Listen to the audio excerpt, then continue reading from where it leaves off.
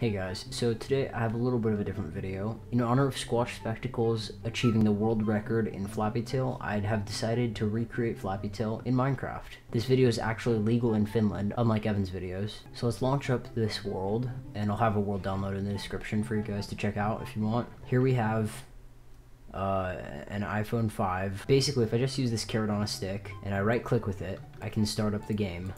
So there we have my head uh, passing through these lines of bones, just like in Flappy Tail. And uh, if you go too high or too low, oh, I died.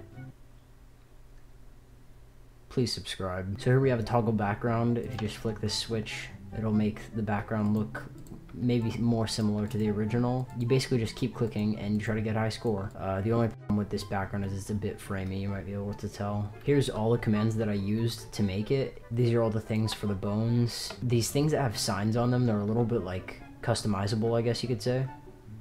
So this first one, jump, you can change how much the uh, the little character uh, jumps. If you set this one to, instead of 0.4, you can maybe change that to uh, like 5.0. Quite a big jump, actually. Significantly harder to control. Uh, the next one over is the player head you can change. Right now, by default, it's just my name, but you can change it to like, uh, little shout out to Squatch Specs. I'm pretty sure that's it, right? Yep, yep, there it is. And now we have a Sasquatch head. Or, you know what? Better yet, it's Garfield time. Oh, oh no, no, Garfield, no, don't hit the bone, no. Oh yeah, the death message in case you want to change what it says. You're better than Willen. You have to make both of these two command blocks match to change the amount of uh, time that it takes in between each line of bones. Yeah, by default it's 64.